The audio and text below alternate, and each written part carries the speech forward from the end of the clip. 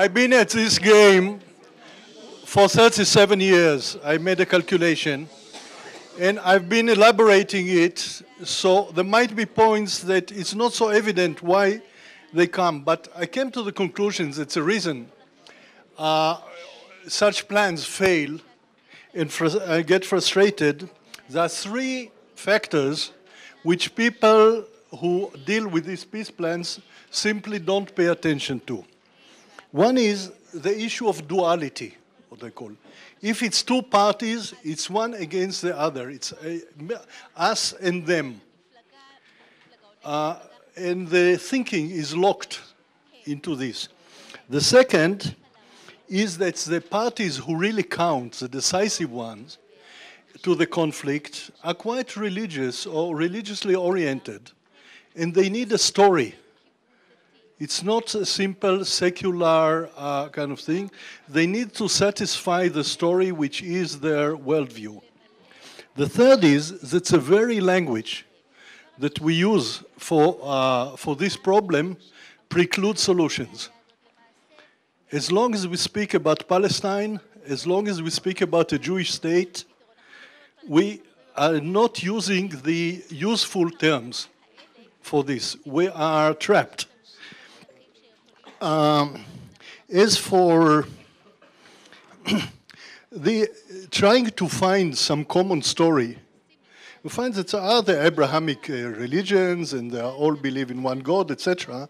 But in truth, each one developed its own scriptures. The Jews are not the people of the of the Old Testament, as most of you may think. We have been the people of the Talmud.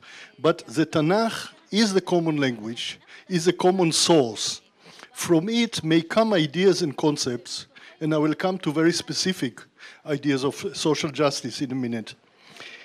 But anyway, I say it should spring from there. It should make sense in terms of the Tanakh, the Old Testament. Now, the term Jews, uh, it's not what the Tanakh wants. The Tanakh never mentions a Jewish state or a Jewish people. It mentions Israel as a confederation of 12 tribes, of which Judah is one of them. But the view of the Tanakh is that not that two are always quarreling with each other from Cain and Hevel all the way up, but that 12 make for reconciliation. And so it's not only the matter of Palestinians and Israelis and Jews.